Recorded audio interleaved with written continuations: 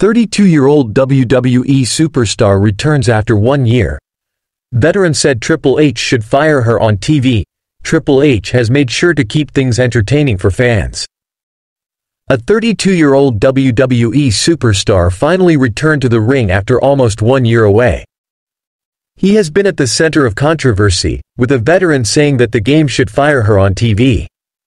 Wendy Choo last competed in WWE at NXT LVL up on May 16, 2023. Since then, she has not had a single match and has been the subject of controversy. Industry veteran Konnan suggested that Triple H fire her on TV, as he hated her character anyway. Her gimmick was that she was always sleepy, and Konnan suggested that WWE use this as a firing angle. After almost a year away, she returned to the taping of this week's NXT LVL Up. She competed against Wren Sinclair, and in her first match in almost a year, she won. It remains to be seen if she returns directly to NXT as well.